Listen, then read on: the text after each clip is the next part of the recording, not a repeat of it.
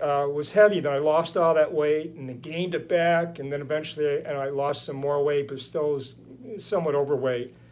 It really messes up with your mind and, and body image. Um, and I was always on a, I was, I was pursuing better fitness, and I get in extreme um, periods where I exercise a bunch, be really strict with my diet, and then you know go off the wagon again and go crazy. And I was I'd yo-yo like that for years, and do very extreme things. I think, uh, in looking hindsight, in, uh, in hindsight, I have an addictive personality. So I'm like all in or all out. From my 20s to my late 50s, I was pretty much vegan, periods of being a vegan and, and uh, being a vegetarian. The only uh, food I eat that wasn't fruit or vegetables or grains would be feta cheese. So I was a big feta cheese fan, a lot of tofu. So, I mean, that's what I was doing for, you know, 20, 30 years. It wasn't sustainable the way I was eating and the way I was exercising, having that all or, or nothing attitude. Now, I was going to mention, you mentioned about eating disorders. What happened when I lost all that weight and I was very thin, you know, 105 pounds is pretty thin for five foot eight. And, um, you know, I, I, remember a picture of my uh, passport. It looks like my neck could hardly hold up my head. You know, I was so thin. But I, I wasn't uh, bulimic then, but after I gained weight and with my body image dys- dys- dysmorphia, I wanted to do anything I can to kind of keep the weight off. So I'd go through periods where I'd binge and I'd become bulimic and then I'd binge again. But it wasn't like an everyday thing, but I'd go through periods of maybe some weeks at a time. I'd be okay for four or five months and then I'd binge and purge. And I did that for, gosh, from 21, 22 till I was like 35. And I was kind of a, and I was married at 29. So I was hiding that from my wife. I was, I mean, it was, it was really uh, very serious situation looking back. But I, I was just, I had so much shame of doing it that, uh, you know, I didn't want to reveal to anyone. I, I could hardly reveal to myself. Um, I don't know if you have any experience or know people who've been through that, but it's an incredible amount of shame that happens when, you know, from, from being bulimic and, and wanting to hide it, not, not wanting anyone to know about it.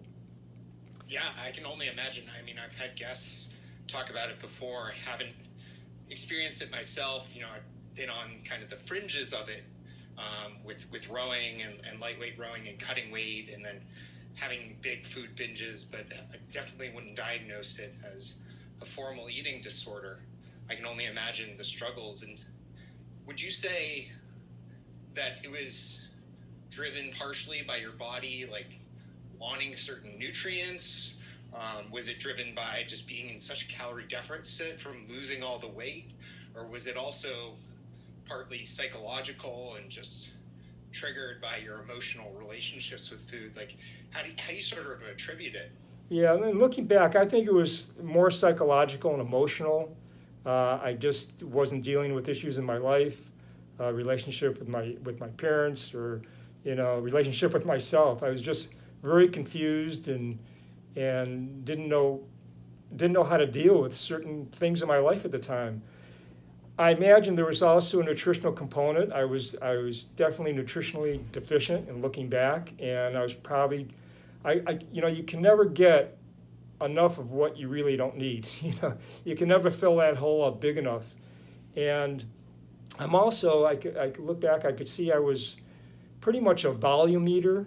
Uh, and I, was, I still am up until I became carnivore uh, this past year.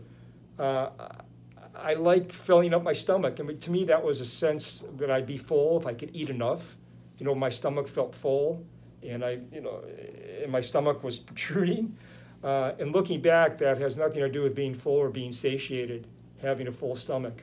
Satiation is very different from that, and that's what I've learned from being carnivore uh, which I really appreciate. That's one of the things I really appreciate about being carnivore.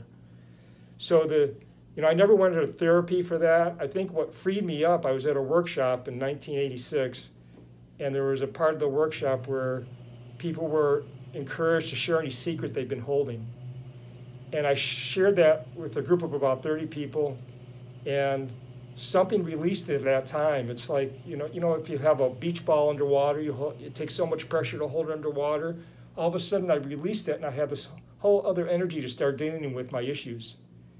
And so from 1986, and I'd say for the next, you know, 30 years, uh, it's been a long process of, you know, healing that, that wounded boy in me, that wounded little kid in me, about why I was doing things like that. And uh, so that's how it's unfolded. Yeah, that's pretty amazing. And um, so you would say your relationship with food now is, is Oh, better? oh, like? so much better. It's unbelievably better.